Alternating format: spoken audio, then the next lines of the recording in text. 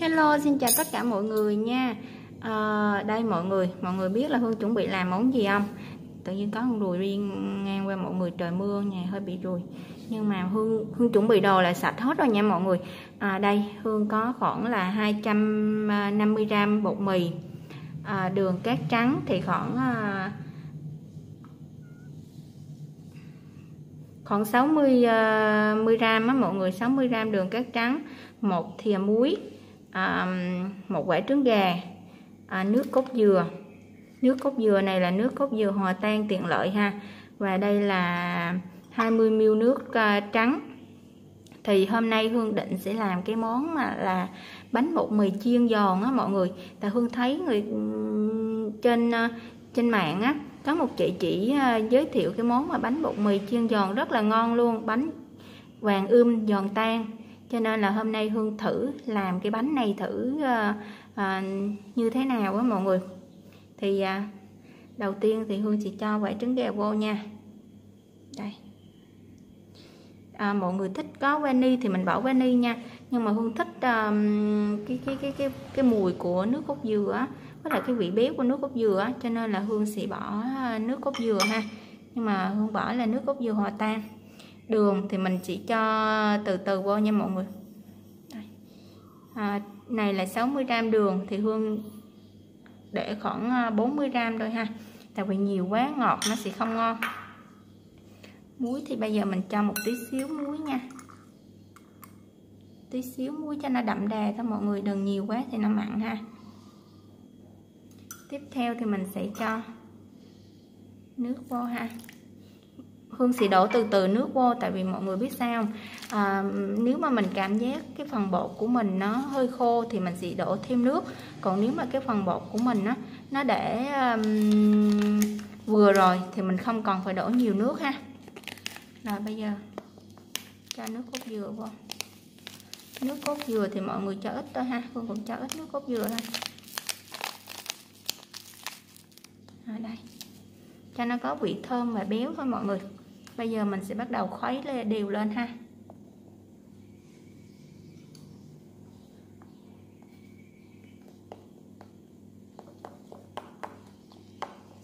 Đều lên.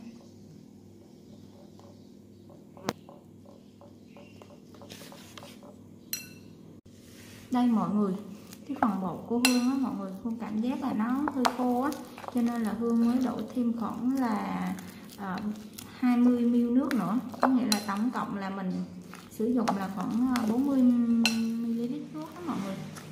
Tại vì cái phần bột của Hương là tới à, à,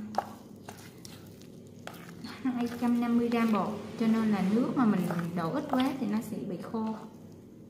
Ừ, Hương cảm giác là này nó cũng khô này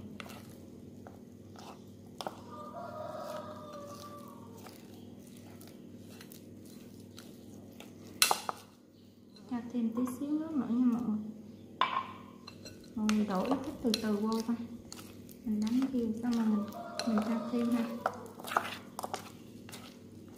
Này hơi khô ha.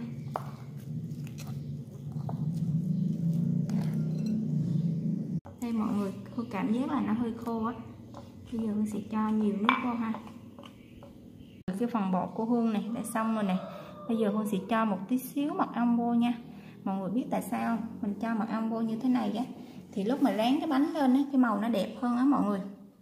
Khi khi mà bột của mình đã được như thế này rồi nè mọi người, thì bây giờ Hương sẽ cho bột nghỉ nha, khoảng 15 20 phút nha mọi người. Rồi mình bắt đầu mình đem đi rán ha. Dầu sôi nè mọi người mọi người nhìn thấy không? Thấy dầu sôi đang tăng không? Bây giờ Hương sẽ cho bánh vô nha.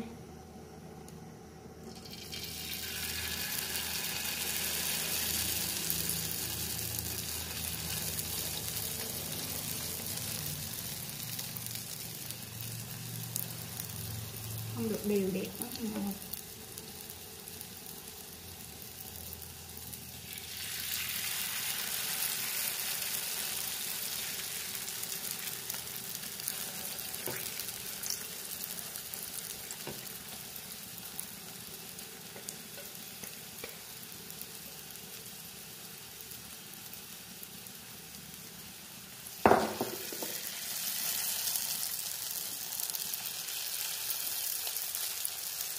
Kia mình lọc mặt lại nha.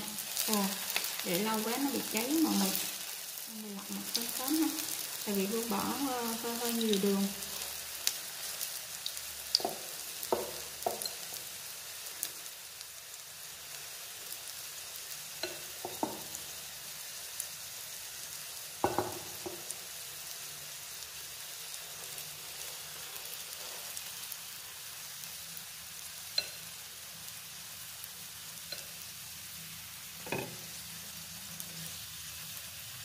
màu vàng khá là đẹp mắt luôn ha mọi người. Mọi người nhớ lọc mặt lại nha. Thì để bánh nó cháy thì uổng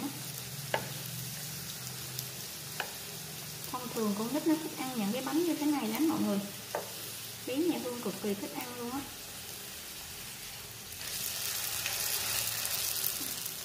Vàng đẹp mắt ha.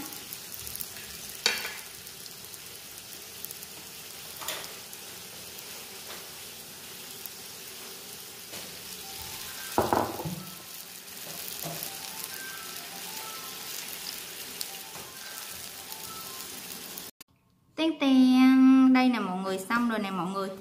Nhìn khá là đẹp mắt luôn nè Vàng ươm luôn nè cả nhà. Đây Quay cho mọi người xem nha. Khá là đẹp mắt luôn nè. Con sẽ ăn thử một cái cho mọi người xem ha Đây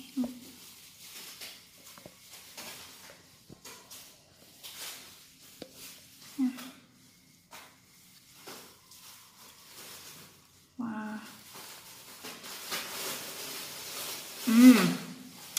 ngon lắm mọi người. Giòn dai khá là ngon.